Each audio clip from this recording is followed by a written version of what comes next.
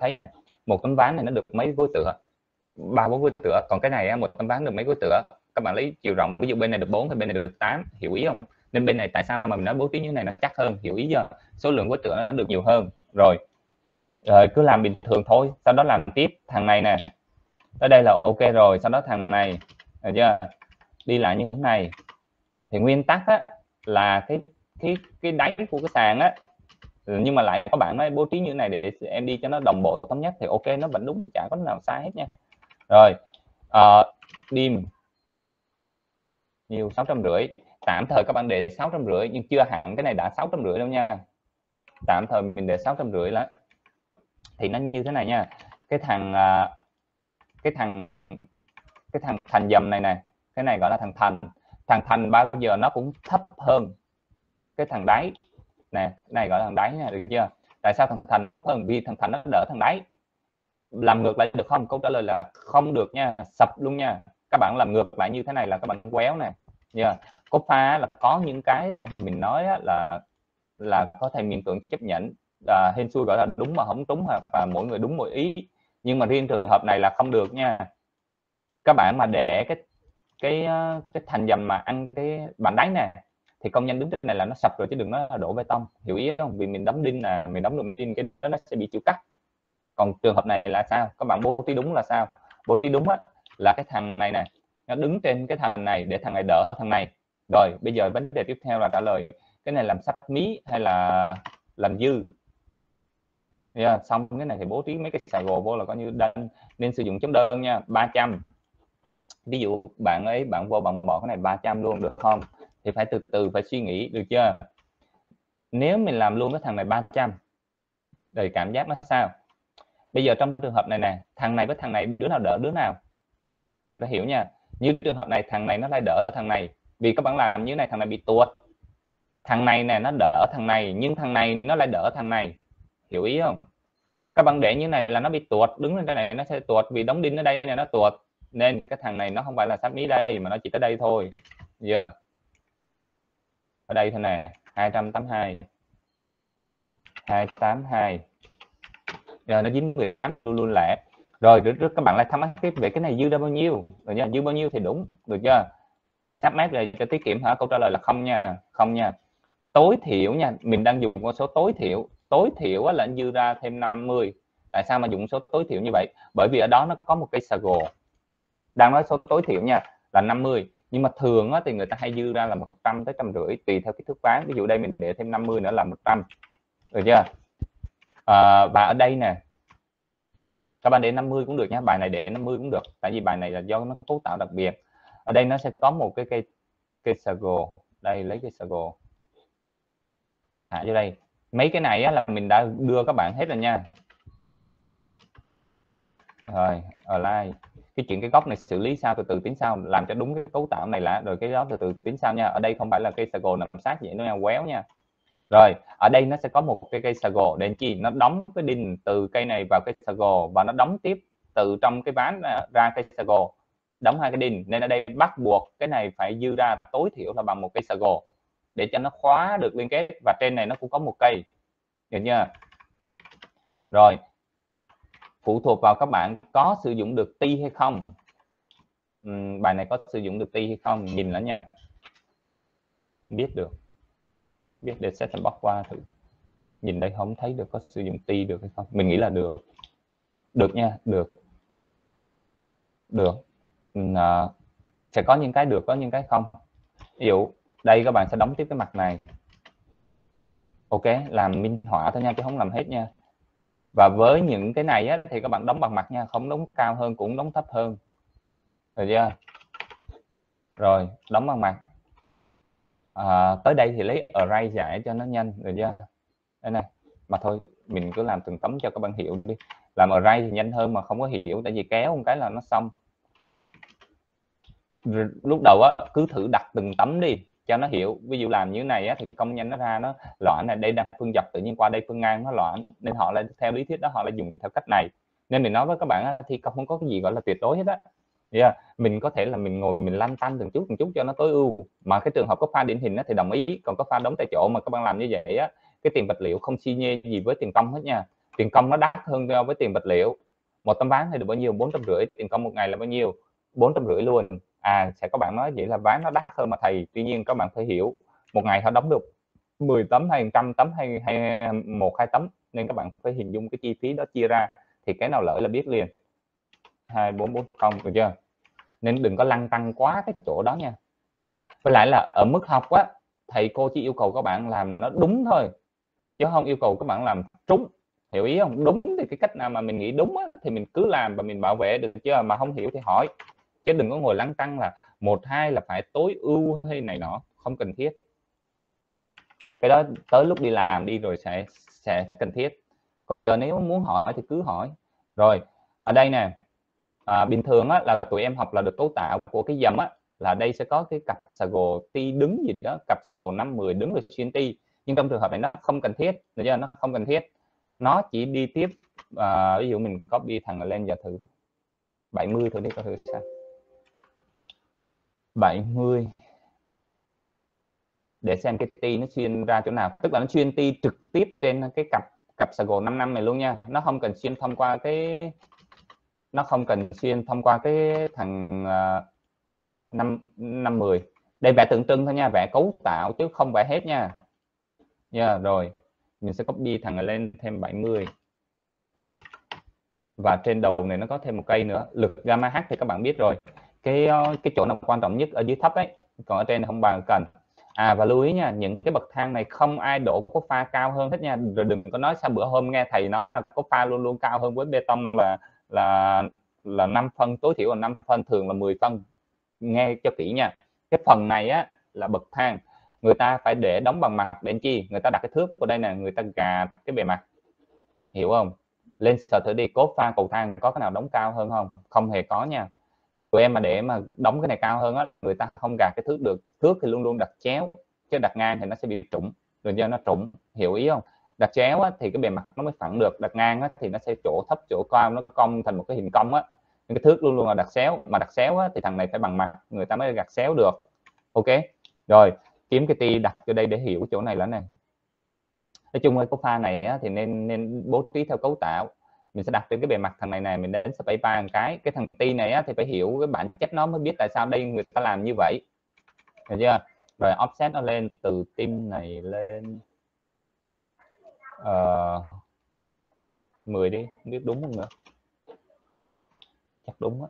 Rồi uh, tụi em sẽ set box tới cái chỗ này để tụi em coi thử là cái ti em dài bao nhiêu. Cái ti làm việc ở center nha. Cái ti này đang làm việc center. Mua mua em nó qua chút và nhớ nha, cái thằng này cứ thằng này làm việc trên thằng kia, nên mua một thằng nó chạy thằng khác, đừng hỏi tại sao nha.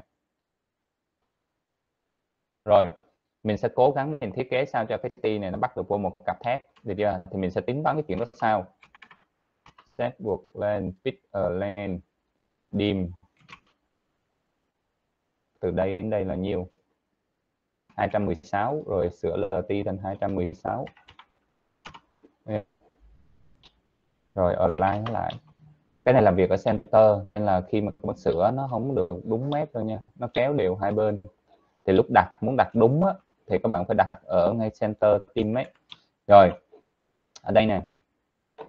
Mình sẽ xem mình cấu tạo cơ sao mà mình cố gắng bởi vì cái bài này ba cái sago là dư sức qua cầu rồi nha.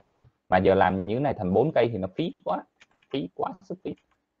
Được chưa? cái này ba cây là đủ rồi nhưng mà hai cây này hai cây bắt buộc phải có này cái cái bắt buộc để mình xem phải có cách nào tiết kiệm hơn không.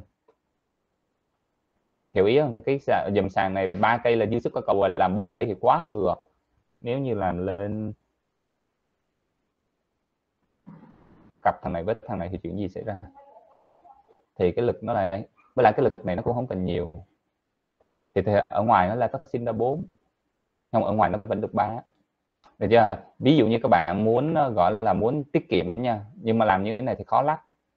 Các bạn cặp thằng này lên đây trên này này thì khó lắp tại sao lại khó lắp nó cấm nó cấm hết trên này được chưa? Ở đây các bạn có rất là nhiều thứ nó rất, rất là khó lắp vì cái ti này nó xuyên sau làm như thế này thì chấp nhận tốn thêm một cây này phí của này được chưa? Nói chung ở mức của đồ án á, thì cho phép các bạn làm như thế này được chưa?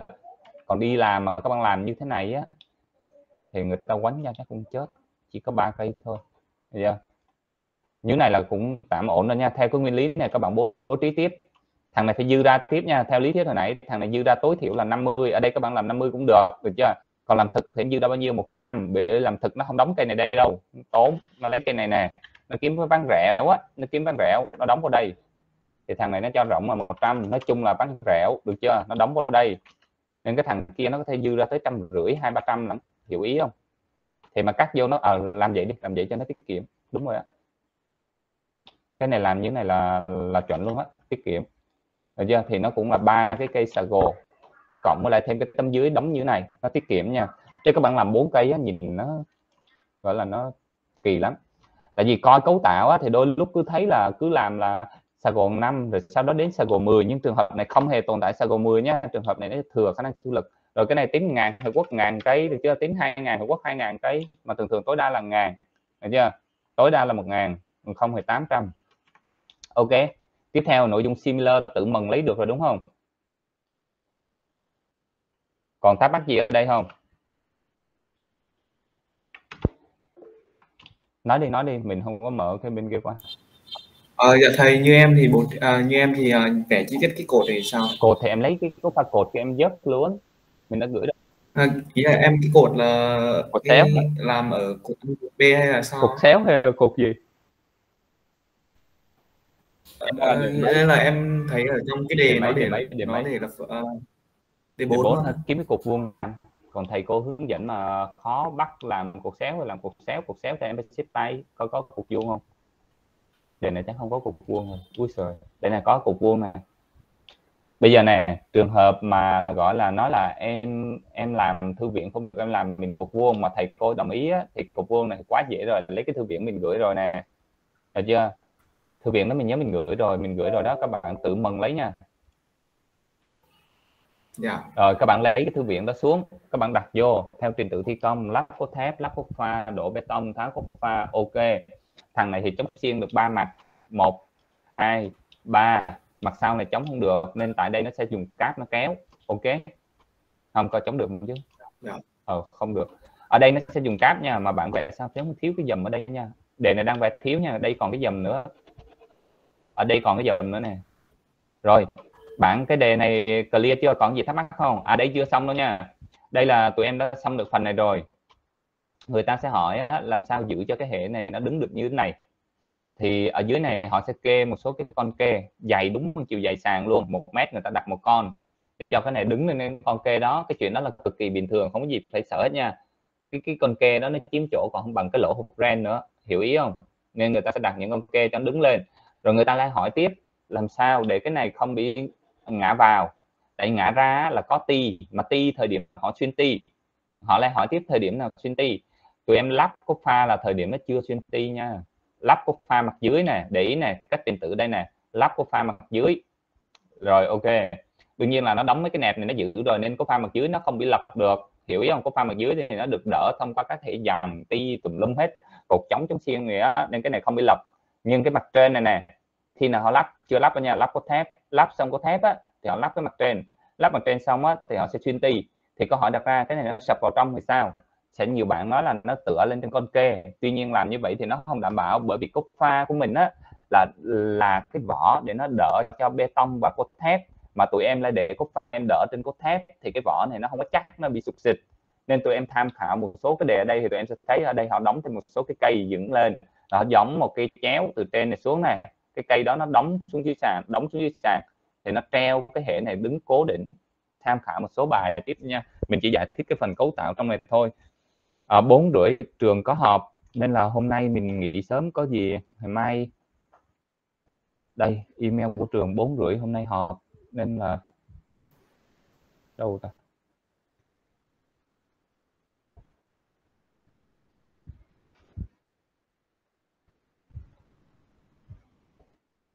À, không biết cái hội thảo gì đây nói chung là hôm nay bốn rưỡi dung họp đây này nên là mình phải nghỉ sớm Dạ thầy cho em xin lại cái đề hỏi được thầy cái này thì đề của em cái này nó cái này lấy làm chi vậy? Mình vẽ chơi nha đừng có bắt chước theo nha. Nãy giờ là mình vẽ theo nguyên lý ưa thì mình gửi lại thôi chứ đừng có tin tưởng nha. Nói chung là nãy giờ mình chỉ giải thích các bạn về mặt nguyên lý cấu tạo. Được chưa? Mà còn chưa xong nữa nha.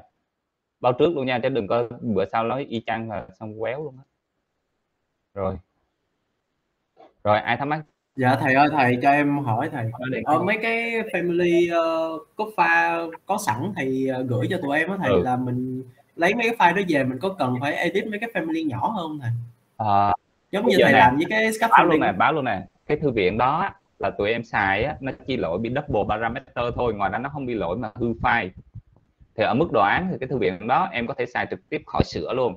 Còn lời khuyên chân thật đó là nên sửa sửa để mà biết cách nó bị lỗi gì. Tại tới lúc làm lệnh văn á, mà làm y chang vậy là chết. Lệnh văn tụi em quá nhiều thứ nên nó chết. Còn bây giờ combine ít nên nó không chết hiểu ý không?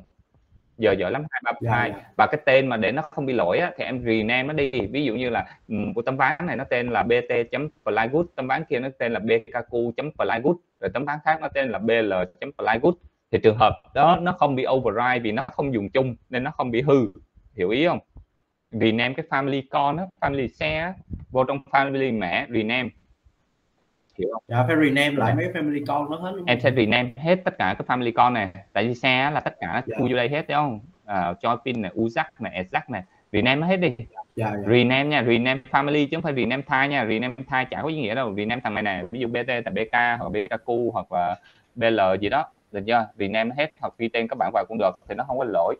Là cái cái này nó. Dạ. chỉ không có lỗi thôi nha rồi còn ai thắc mắc gì nữa? Dạ, tại vì bên bên bên em là thầy thầy em yêu cầu là phải uh, vẽ hết cốt file trong toàn bộ cốt truyện luôn thầy. Nên là ai, ai vậy? Ai, bỏ ai, vô chung luôn. dạ thầy sĩ. Ồ, ác đó nha. Dạ thầy kêu là vẽ hết. Ok rồi chúc may mắn nha. Dạ. Thầy thầy hồi nãy thầy dùng lệnh gì mà nó xuất hiện cái file để gán nó nhanh nhanh như thế gắn thì ta cm cái gì đâu. Cm cm mở component đó cm ừ đúng rồi. Rồi còn 2 phút mình phải đi đi họp. Các bạn ờ, có gì mai mai mai học tiếp nha có gì mai hỏi. Ok. Vậy. Dạ chào thầy. Dạ chào thầy ạ